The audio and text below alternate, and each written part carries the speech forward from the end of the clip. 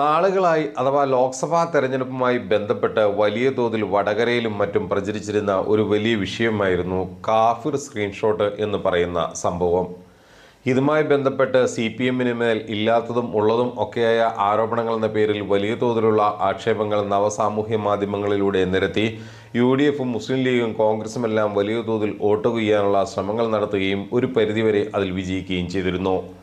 ഇപ്പോഴത്തെ ഈ കാഫിർ സ്ക്രീൻഷോട്ട് സംഭവത്തിൽ സി പി എം തന്നെ പരസ്യമായി രംഗത്ത് വരികയും സംഭവത്തിൽ കുറ്റവാളികളായ ഉത്തരവാദികളായവരെ കൃത്യമായി പിടികൂടണമെന്ന ആവശ്യവുമായി സംസ്ഥാന സെക്രട്ടറി അടക്കം നേരിട്ട് വാർത്താസമ്മേളനങ്ങൾ നടത്തിയവരുടെ രംഗത്ത് വന്നിരിക്കുന്ന സാഹചര്യമാണ് ഉള്ളത് ഇതിനിടയിലാണ് മുസ്ലിം ലീഗുകാർ ഡിവൈഎഫ്ഐക്കെതിരെ എല്ലാം പരസ്യമായിട്ട് ഈ സ്ക്രീൻഷോട്ടിൻ്റെ പിന്നിലെല്ലാം പ്രവർത്തിച്ചത് ഡിവൈഎഫ്ഐക്കാരാണ് എന്നുള്ള തരത്തിലുള്ള പരസ്യമായ ആരോപണവും അവരുടെ പേരുകളുമെല്ലാം വെളിപ്പെടുത്തിക്കൊണ്ട് രംഗത്ത് വന്നിരിക്കുന്നത്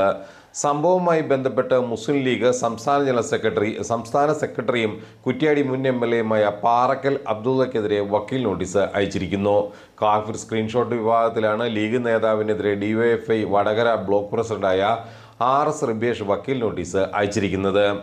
എന്തും ഏതും എതിലെയും വരുന്നതെല്ലാം ഡിവൈഎഫ്ഐയുടെ മേൽ കെട്ടിവെക്കാനും അല്ലെങ്കിൽ ഇടതുപക്ഷത്തിൻ്റെ മേൽ കെട്ടിവെക്കാനുമുള്ള Muslim league U D F നേതാക്കളുടെ എത്തി ഇത്തരം നീക്കത്തിനെതിരെയാണ് വലിയ തോതിലുള്ള വിമർശനം ഉയർന്ന പശ്ചാത്തലത്തിലാണ് ഇത്തരത്തിൽ ഡിവൈഎഫ്ഐ ഇത്തരം ഒരു നടപടിയുമായി മുന്നോട്ട് പോയിരിക്കുന്നത്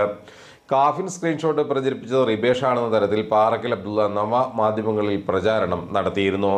അതോടൊപ്പം തന്നെ ഇദ്ദേഹം ഐ യു എം എൽ സംസ്ഥാന സെക്രട്ടറി എന്ന വിലാസത്തിലാണ് ഫേസ്ബുക്കിലെ പ്രൊഫൈൽ ഐ ഡി ക്രിയേറ്റ് ചെയ്തിരിക്കുന്നത് കാഫിർ കേസ് വ്യാജ സ്ക്രീൻഷോട്ട് നിർമ്മിച്ചതും പ്രചരിപ്പിച്ചതും ഇടത് വാട്സപ്പ് ഗ്രൂപ്പുകൾ എന്ന തലക്കെട്ടിൽ എഴുതിയ കുറിപ്പിൽ റിബേഷാണ് റെഡ് എൻകൗണ്ടേഴ്സ് വാട്സപ്പ് ഗ്രൂപ്പിൽ സ്ക്രീൻഷോട്ട് അയച്ചത് എന്ന് സൂചിപ്പിച്ചിരുന്നു ഇതിനെതിരെയാണ് റിബേഷിനു വേണ്ടി അഡ്വക്കേറ്റ് കെ എം രാംദാസ് ഇപ്പോൾ വക്കീൽ നോട്ടീസ് അയച്ചിരിക്കുന്നത്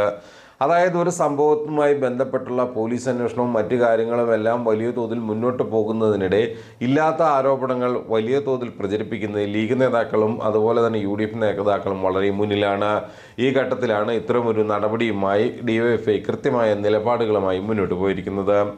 ഈ കാര്യവുമായി യാതൊരുവിധ ബന്ധവുമില്ലാത്ത ആളാണ് റിബേഷ് എന്ന് നോട്ടീസിൽ പറയുന്നു എന്നാൽ പ്ലസ് ടു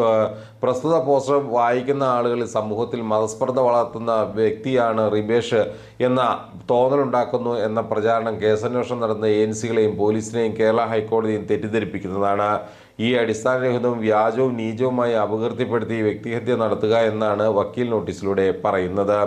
ഇതുവഴി ഡിവൈഎഫ്ഐയെ സംശയദൃഷ്ടിയിലാക്കുക എന്നും ഈ വ്യാജ പ്രചാരണം ലക്ഷ്യമിടുന്നു എന്നും അഡ്വക്കേറ്റ് രാംദാസ് മുഖേന റിബേഷ് അയച്ച വക്കീൽ നോട്ടീസിൽ വ്യക്തമാക്കുന്നു ഇവിടെ നമ്മൾ മനസ്സിലാക്കേണ്ടത് ഏത് സംഭവമാണെങ്കിലും കുറ്റവാളികൾ പിടിക്കപ്പെടുക തന്നെ ചെയ്യണം പക്ഷേ ഇപ്പോൾ നടക്കുന്നത് എന്താണ് വലിയ തോതിൽ കാടടച്ച് വെടിവെച്ചുകൊണ്ട് എല്ലാ സി പി എമ്മിൻ്റെ തലയിൽ കെട്ടിവെക്കാനുള്ള വലിയ തോതിലുള്ള നീക്കങ്ങളാണ് ഇപ്പോൾ നടത്തി വരുന്നത് ഏതായാലും വരും ദിവസങ്ങളിൽ ക്രാഫിർ സ്ക്രീൻഷോട്ട് വിഷയത്തിൽ ശക്തമായ നടപടികളിലേക്ക് കാര്യങ്ങളിലേക്ക് നീങ്ങുമ്പോൾ പല യു ഡി എഫ് നേതാക്കളും പ്രതിപട്ടികയിലേക്ക് വരുമെന്ന് തന്നെയാണ് കർണൂരിൽ നിന്നും വടകരയിൽ നിന്നുമുള്ള രാഷ്ട്രീയ നിരീക്ഷകർ തന്നെ പറയുന്നത്